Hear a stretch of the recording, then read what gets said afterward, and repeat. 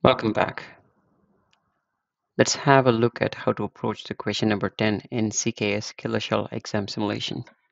Question number 10, task weight 4%. So Team Purple wants to run some of their workloads more secure. Worker node cluster 1 dash node 2 has container engine containerd already installed and it's configured to support the run SC gvisor runtime. Create a runtime class named gvisor with the handler runsc. Create a pod that uses the runtime class.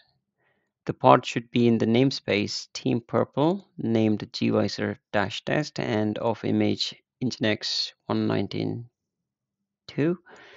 Make sure the pods run on cluster 1 node 2. Write the DM diagnostic message output of the successfully started pod uh, into the given file here. So it is about uh, the runtime class in Kubernetes. So um, let's first SSH onto this node.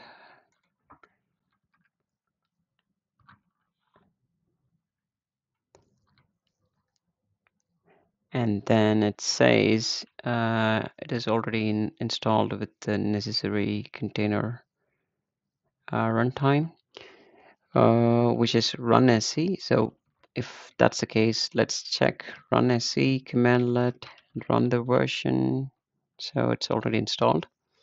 Good. Um, we can also take a look at the configuration file um, the runsc uh, or the containerd configuration file, which um, usually resides at etc containerd config.toml. So it's a big configuration file, but for now, let's grep for run runsc to see if it is already there. So under the plugin section, we see run runsc is there and the runtime is run runsc v1. That looks good. So for now, uh, let's go to the Kubernetes documentation and get the manifest for uh, creating the runtime class. Go here, runtime class.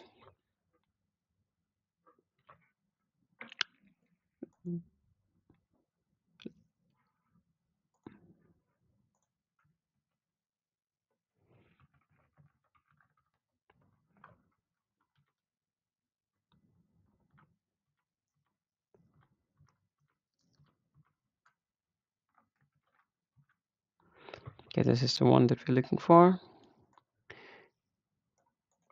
Copy this, go back to our shell. So now let's uh, create the runtime class. So let's name it 10rc.yaml. Uh, paste whatever we have copied from the Kubernetes documentation.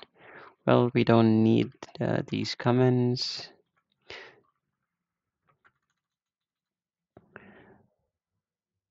So the runtime class name called gvisor. Let's copy this. Name is gvisor, and the handler name is runsc, which is the usual handler for gvisor always. Created it. Now um, kubectl create uh, dash f. Let's create a runtime. Okay, we are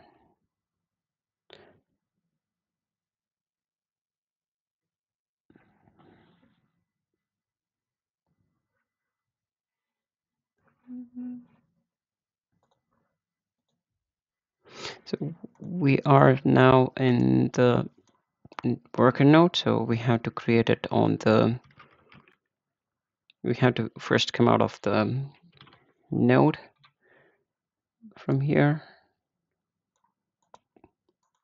And then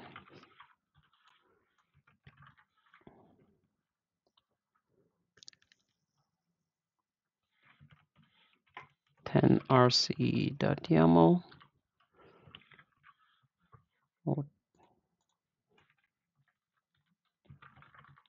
Okay, now we'll use the ones that we've created.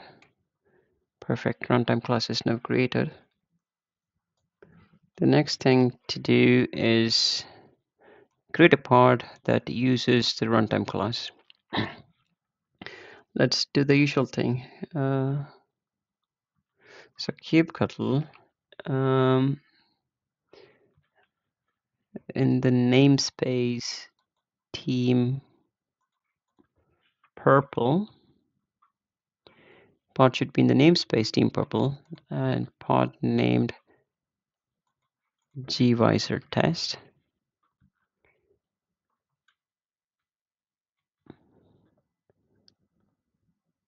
So kubectl run this pod and use um, this image. Nginx 1.19.2 and then dry run equals client. Output YAML. Looks good. Now we'll redirect to the 10-pod.yaml so we are let's open the pod definition we just created so, so the other things that we have to make sure is uh, under the specs section we have to uh, ensure under the part specification we have to ensure um, the first point is make sure the um, the pod runs on this node. So we have to use the node name. And we have to run this on this node.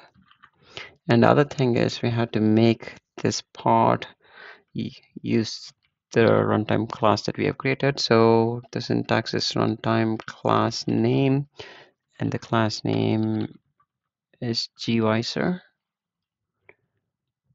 and I think that looks good. Let's now create the pod uh, 10-pod.yaml so kubectl in the namespace team purple. Get pods. So the one that we have created is the gvisor test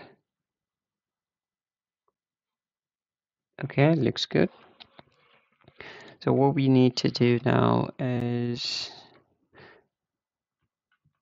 we have to exec into the pod. Okay, let it be there. Um, gvisor test output in an YAML format just to see if it is using the runtime class we have created. Yes, looks good. Now let's um, exec into this part